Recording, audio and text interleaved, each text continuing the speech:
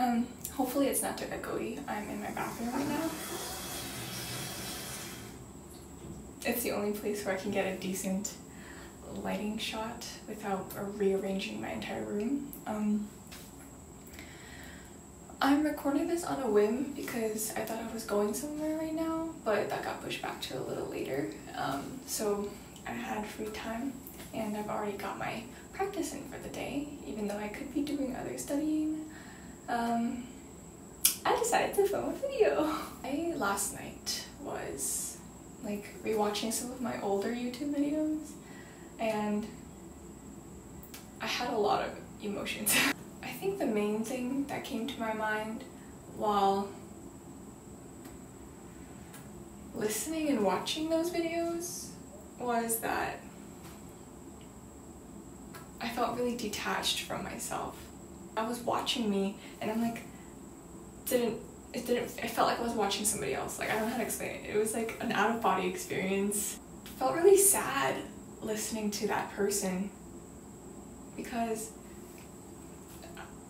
me, I'll like, it's me, but I'm gonna call her like she and her. Like, she was just so beat down and she was so insecure. Not to say that I'm not insecure, but it was different because, well, one, I was at my heaviest at that point. Um, I gained a lot of weight last year because I was on birth control and I just had like a whole like list of side effects and that included me gaining a lot of weight. And I just felt physically unattractive.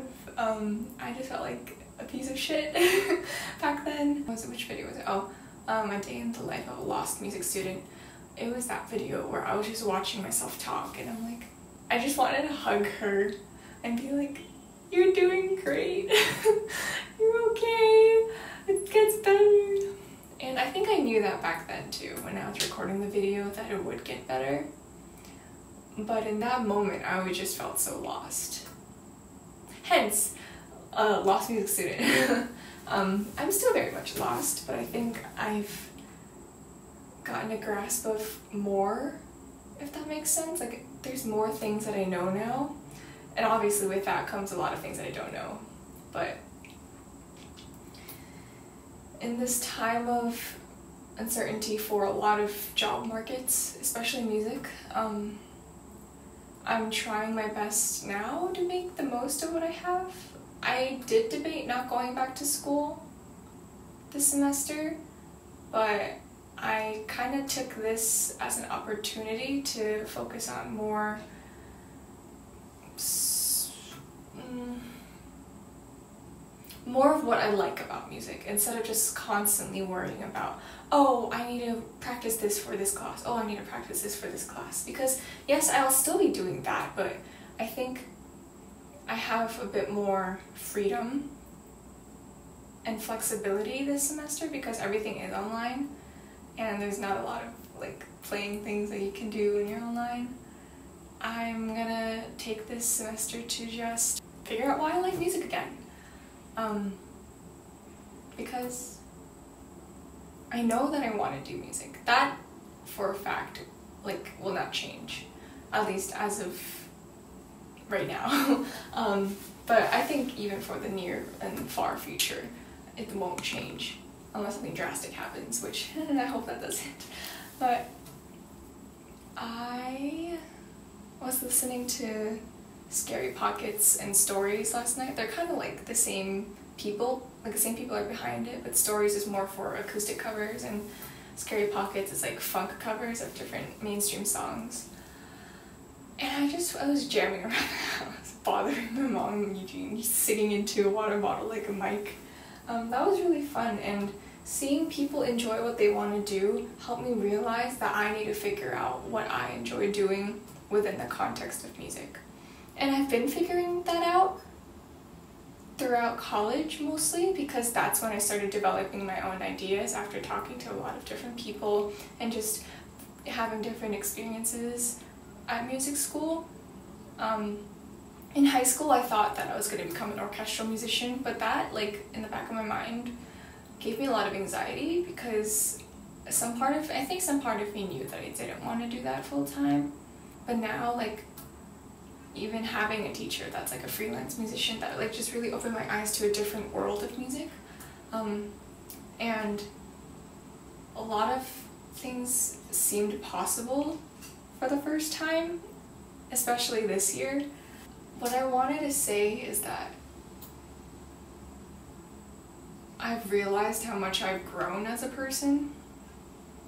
And now I know that I'm gonna grow even more as a person because that video I watched, the older video I watched of myself, that was only about a year ago and within this year alone I've improved a lot in many different ways.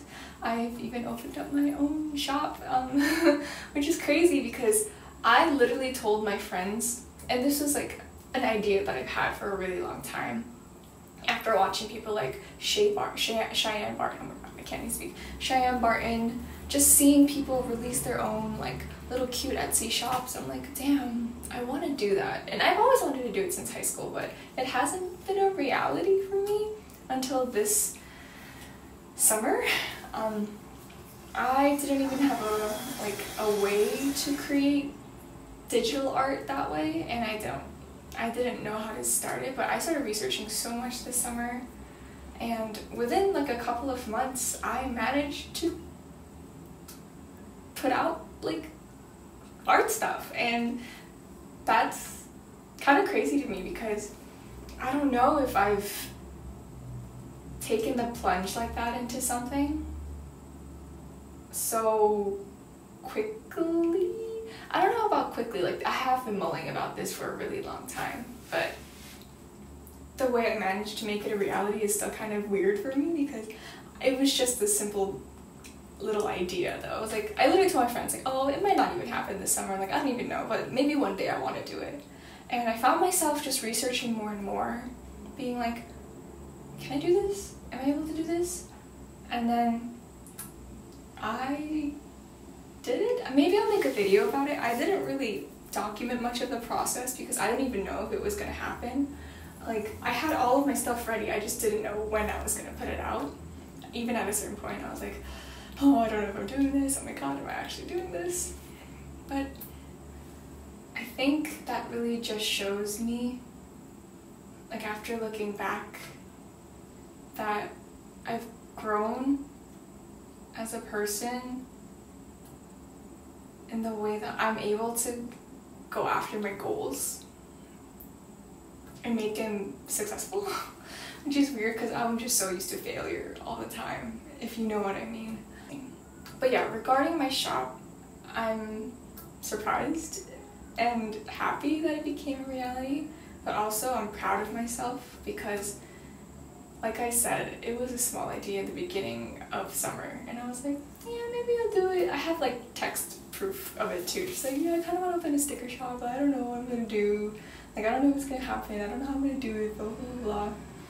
But I just found myself researching um, where to print, how to do it. I even had like a breakdown over how to format stickers on Illustrator.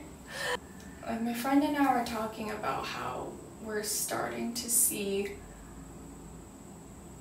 success in a lot of our peers around us. And while that's also scary, that's also very exciting because we're at that age where we're finally starting to see the fruits of our labor, um, to see things that we're creating that we're proud of and I just think that's so cool. Um, but I still have like a little doubt in my mind, you know. And I think uh, what what did it, what do we say? Do I don't know if my younger self would be proud of me, and I think she will. She would be proud of me, like specifically 2011 Hannah. If not 2011 Hannah, at least one year ago Hannah would be really proud of me and where I am because I'm starting to realize what I like and what I don't like. I'm willing to do unconventional things. Not even unconventional, just following my own path when people around me aren't necessarily on the same path. But it's so nice because they're encouraging me on my path, and I'm so happy for my other friends on their paths with anything they're doing. And I think that's what's most comforting about growing up in a good community. And I think that's why I've been realizing how much I've grown in this year because I'm surrounded by good people. I'm starting to realize my self worth, even if it's just a tiny bit. I'm not fully there yet, but it's very tiny, tiny, tiny. But it's something, and I'm happy about that. Alright, um, I'm using a new mic, so I have no idea how it's gonna sound. But, um, I filmed that video few days ago when I was actually feeling good, and I've been feeling good in that video for a long time. But then, like, literally the day after I filmed that video, I kind of died. I was like, mm, I don't feel good anymore. um, we love that. Anyway, I just wanted to let you guys know. Um, even though I'm not feeling as good and as yay life as I was in that previous clip, I'm still doing okay. Um, since Horn, no, not since Horn, since school started and started picking up a little, um, it's I think, getting like I've been getting back in the mindset of I'm not doing enough. Oh my god, I'm not doing enough, and like that's been a little hard, but yeah, um, I'm just trying to do the best I can. Um, I'm thinking of designing stickers for my shop, and even that, I'm like, oh, is my art good enough? Like I've, I like I like my art for a while, and then I started hating it again. So I don't know what my deal is, but maybe it's a changing weather. Could be the seasons. You know, who knows? But yeah, I didn't want to upload that when I was feeling shitty, so this is kind of a mini update after a few days of film after filming that. So I'm still okay. Um, had a fun day today, and I hope I can feel fun. Like I hope I can feel better soon again. Let's see how that goes.